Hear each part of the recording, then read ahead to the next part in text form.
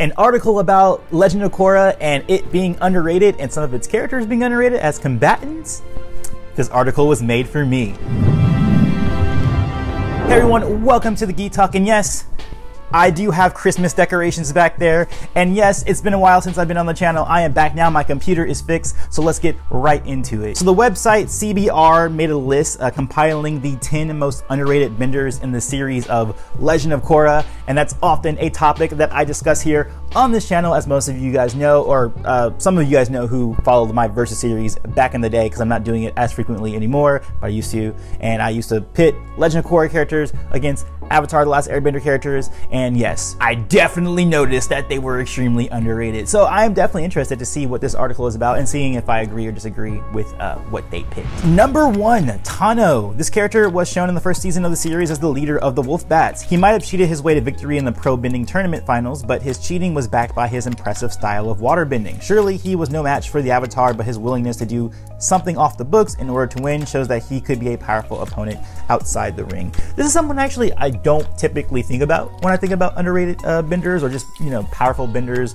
that don't get their due credit. But I do agree that yes, he is his style of water bending, the way that he kind of did his trickery so that you can't overtly tell that he's cheating in the in the game could have been an interesting thing if we watched, you know, or saw more of his fights outside of just the pro bending arena and we never see that character outside of that first book, if I'm not mistaken. Number nine, Opal. Opal is the daughter of Suyin Beifong and the daughter of Toph Beifong. She became an airbender after harmonic convergence and quickly picked up the art of airbending. During the Battle of Zaofu, she was able to hold back an entire army with airbending while Jinora projected her spirit to ask for help. She was also very useful in fighting bandits and fighting Kuvira at Republic City. She surely has the makings of a very powerful bender. I'll admit, Opal is not someone I actually think about all that often either, especially as a combatant, because I mostly saw her as like kind of uh, you know someone who's associated with Bolin and that kind of love thing that they were going on. Not really, you know, because we don't really see her in any one-to-one fights, and that's a big thing too. I think is that a lot of times with these characters and the way that I even think about them as fighters, I have to kind of see how they do in one-to-one fights because seeing singular feats where you know you might just be defending or you might just be doing one big, you know, display of bending doesn't always translate to a fight. And in one-to-one fight, you have to really adjust to a particular person's style. And I didn't really see that from Opal. So while yes, I would say she is underrated and I myself probably underrate her, I can't also say that I can give her credit because we haven't really seen her in any real significant fight, like one-on-one fight. Eight, Meelo. This young boy is a bit on the loud side, but he's actually stronger than he looks. Being the grandson of Avatar Aang and son of Tenzin means that he had a very good upbringing in the ways of airbending. He was even placed in charge of training the new airbending recruits. Now, this is someone who is definitely underrated, even by his own father, because of course, we know that he invented fart bending. And we know that the way people get their airbending tattoos, or at least the air nomads, the way they get their tattoos, is by inventing a new technique. And fart bending has not been seen before. And also, not even just because it's funny and it's like, ah, fart bending is like an air bending through his butt but more than that, you got to think about how difficult it is to fart on command like Meelo does, and also how powerful those those airbending farts actually are. Like that one point, I think in book four, when they were facing the vines in the swamp, he literally split a vine in half by farting on it. Hashtag Meelo deserves tats. But in all seriousness, again, we don't really see him in really real fights. I mean, he fought against the Equalists, who are, you know, the Equalists generally are pretty good fighters. They're able to stand up against like Mako and Korra. But we actually haven't seen him in a real fight and one that wasn't, you know, tied to some sort of comedic portion. So again, yes, he's probably underrated, and I probably think I actually hold him up pretty high just depending, just seeing how young he is and what he's doing. But in terms of like really solidly putting him up there with like, you know, the best benders, I don't know if I can really do that because again, we don't have enough of him in a one-to-one fight. Number seven, Kai. Kai is another person who got airbending after harmonic convergence. Given how quick and agile he is, it's possible that he was a very strong non-bender. After getting airbending, he used the skill to commit some petty crimes, but eventually turn over a new leaf. He was able to best a strong Dai Li agent in Ba Sing.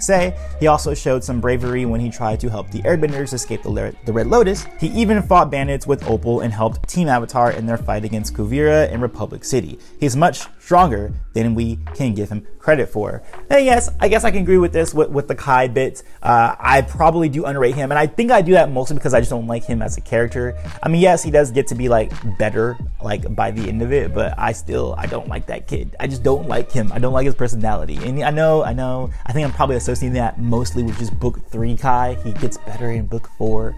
Uh, but he's probably a pretty good bender. Like, yes, like as the article is saying, is very similar to Zaheer. I think that he adapted a lot of his, you know, non-bending martial arts that he already knew from his petty crime and just adapted that to his airbending. And he was already like one of the top students of the airbenders, you know, just when they were uh, working with Tenzin and working with Kya and, and the air nomads. And yeah, he did do a pretty good job of avoiding P'Li and all of her combustion bending attacks that she was committing against him. Uh, but again, like I said, with all these other people on the list, we just haven't really seen him in a direct fight. So you can't really pinpoint how good he is. And I hope that some of these other people on the list can have some of these fights so that I can talk about them more in depth because there just isn't enough to really talk about these characters. And I think they're underrated mostly because they are underrepresented in the show.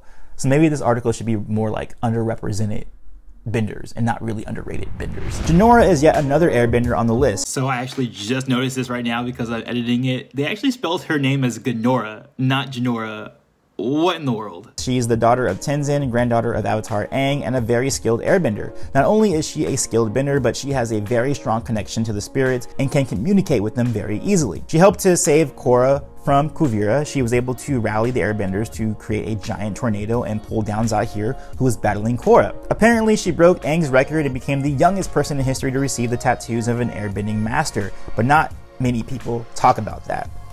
No, people talk about that all the time. People talk about how, how great Jinora is. People to the point where they say, like, it should have been Jinora's show. It shouldn't have been Korra's show. And yes, I actually am going to disagree that she's underrated. I'm actually going to say she's a little bit overrated. If we're talking about combat, if we're talking about combat. Now, in terms of her just airbending abilities, period, and her spirituality and what she's able to achieve with that, certainly she gets the credit she is deserved. She is just simply rated in, in, that way, at least to me. I think she's just rated. But if we're talking about her fighting against someone else. Um, we just really haven't seen that sort of combative ability. I would say that even Meelo would be a better combatant than his sister. And I see her more as maybe a leader or a captain, someone who can, you know, as she did with the book threes, I hear tornado situation. Uh, she, she's one of those people who can really, you know, show people the way, not necessarily being the best herself uh, especially in, in a combat scenario. But in terms of spirituality, which sometimes does help in combat situations, as we saw at the end of book two with the whole uh,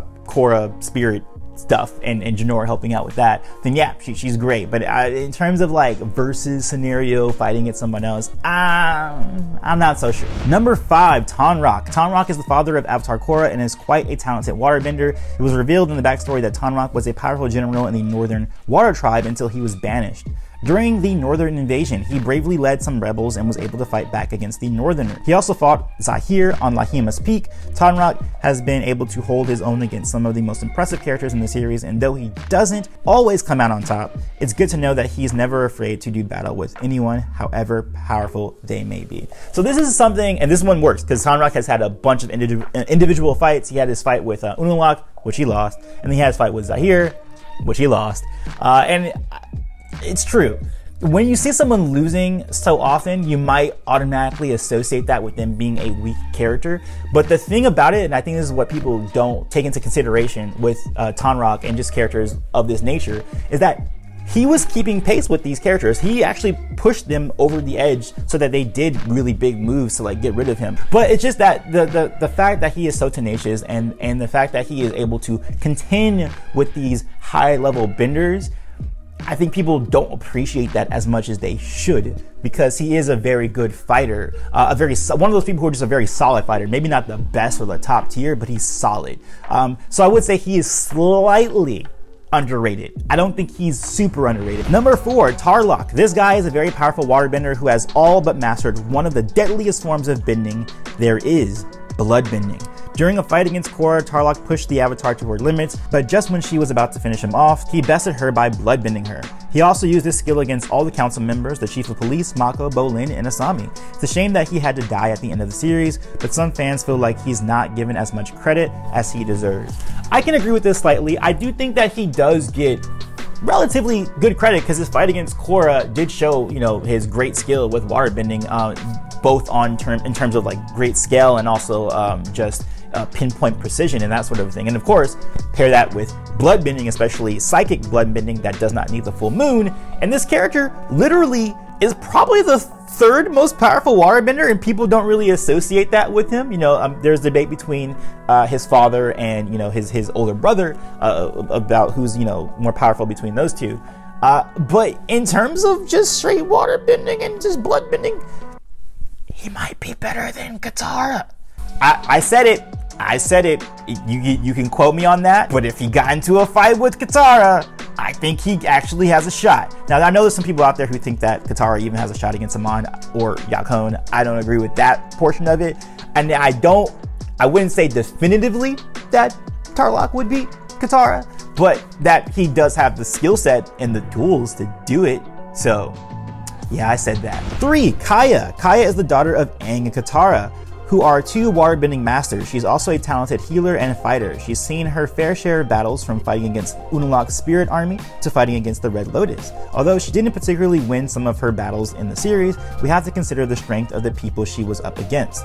She was able to hold out against Zaheer as well as Ming Hua, despite being advanced in years one can't help but imagine how powerful she would have been in her youth. That's actually a fair point. I actually don't really think about that as often as I should because yeah, Kya's pretty old. Isn't she like in her 60s or something like that?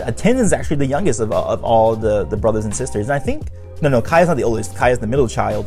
But I, I always forget that she's she's old, and I forget that age does play a, a factor in the Avatar universe because I'm used to like you know other universes where like age doesn't really matter because of magic or you know the, the, Force or whatever it is that's you know backing that type of person. But yeah, Kya in her youth probably was pretty badass. And again, similar to Tonraq, I think that she doesn't get as much credit as she deserves because she goes up against such powerful opponents like Zaheer or Ming Hua, who are just like on another tier those are like very special benders who are like are once in a generation type characters. Kya's just like, you know, that middle of the road, not really like above middle. She's definitely above average. She's sol- solidly above average. I think she even would be on the level of Tonraq, which, ooh, Kya versus Tonraq, That might be a fun matchup to do in the future. But yes, I, I, do agree that Kya does get, again, like I said with Tonraq, slightly underrated. People should still give her credit for being solid because, again, within the context of the fights that she was in with those people, she was doing some pretty good stuff. And even, like, for instance, with Ming Hua, she basically beat Ming Hua, but if it wasn't for the fact that Ming Hua is like this, like, anomaly of waterbending, um, she technically could have won that matchup. So yeah, Uh, slightly underrated, but not super underrated. Number two, Ming Hua. The woman is quite scary. She uses water for arms and is one powerful water waterbender. She was able to easily beat Eska and Desna at the North Pole, and these are benders strong enough to give the Avatar a tough fight. She also beat Kya at the Air Temple. Being a member of the Red Lotus, she's classified as one of the strongest benders in the world by Lord Zuko. After many encounters with her, Mako was able to defeat her, but this defeat speaks more volumes of Mako's strength than Ming Hua's weakness. Also, it speaks more to environmental advantage, not so much Mako's strength, because she was in a pool full of water and lightning and water don't mix. So people, I think, sometimes give her, well, no, hold on, I'll take that back. Because prior to that scene of that very circumstantial environmental advantage, she was just legitimately losing to Mako. And it's weird because we see her fighting against Desna and Eska and just straight up defeating them right off the bat. But then the twins did fight Korra to a standstill, though I do think Korra would have eventually beat those two. So it's weird, like her her, her scaling, because yeah, she beats Kya, she she beats the twins, but she can't beat Mako and then it's also association of like how good is Mako really, and then she's kind of in this weird space, right? Of like where, how good is she really? Does she deserve to be like you know in those more upper echelon kind of tier levels, or is she supposed to be more like above average? Is she really supposed to be on the level of like a Kya and a, and a Tonraq? And it's weird. Uh, maybe I, I, haven't really done a deep dive on Ming Hua since I've done her matchup with Unalaq, so I haven't really been thinking about her enough. But if I ever did dive deeper into her, I would have to really figure out where she is because it, she's very inconsistent, and I can't tell if that's like a writing thing or it is something that I should have seen from the development of Mako or maybe the decline of Ming-Hua. Number one, Tenzin. Tenzin is the son of the Avatar and an airbending master. Many fans have come to acknowledge him as a talented fighter, but many fail to realize that he could even be stronger than Avatar Korra herself. Zaheer had always bested the people he fought against, but he fought a downhill battle when he went up against Tenzin. Zaheer began running as Tenzin quickly went from defense to offense. Tenzin was able to beat him, but Zaheer was saved by his friends. Tenzin went up against all three of them and seemed to be winning. If it wasn't for the combustion lady up in the skies, goodness knows what would have happened. Okay, so there's a few things I want to like address here like specifically. So first off, they say here, uh, uh, many failed to realize that he could have been stronger than Avatar Korra herself. I disagree with this, and they're coming to this conclusion because they're saying that Avatar Korra didn't do as well against Zaheer, and Zaheer didn't do that well against Tenzin. So, you know, they're basically kind of playing around a little bit with transitive property, which is the reason why I don't deal with transitive property because there is context between every fight. And the specific reason I believe that Tenzin did so well against Zaheer is because Tenzin is an actual master airbender, and Zaheer isn't. And, and Zaheer is kind of like this sort of very talented airbender, but he doesn't really know the techniques. He hasn't really learned for years and years under a master. So when he actually went up against an actual master, he's like, oh snap, I'm really not that great, which is makes sense because Tenzin's been training all this time. So to say that and also to leave out the context that that freaking Korra was poisoned during her fight with Zaheer, uh, that's a weird claim. You can't really say that he might be better than Avatar Korra in terms of like a, a straight up fight. Korra would beat Tenzin down. Like let let's not let's not be silly here, guys. However, I also don't think that Tenzin, uh, maybe back in the day when the show was coming out, Tenzin might have been underrated, but I think over the years, he's gotten his due credit, especially because of his fight against the Red Lotus, not only defeating Zaheer, but then standing up to like almost all three of them until, of course, P'Li came down and like basically broke that all up. But I think that has a, a, bit to do with one, I mean, yeah, he's a master airbender. Zaheer was not prepared for that. Also, he's fighting for his family and his loved ones, so you do get a bit of a boost off of that. So he's going to deal with that, you know, very uh, difficult situation because of that backing. So I don't think he should be top of the list of being underrated because I think he shouldn't even be on this list at all. I think people actually uh, appreciate him and understand his level uh, of being a high tier uh, airbender or just being a high tier bender in general. But that's it. Those are my opinions on this list of the 10 most underrated benders in Legend of Korra. What do you guys think? Do you think that this list is right? Were there characters on here that you thought should be on here who you think are underrated in the franchise in general? Uh, let me know in the comments below. Or you can watch more of my Avatar videos here on the side of my face. I'll catch you guys on the next one. Peace, love, and remember, be water, my friends.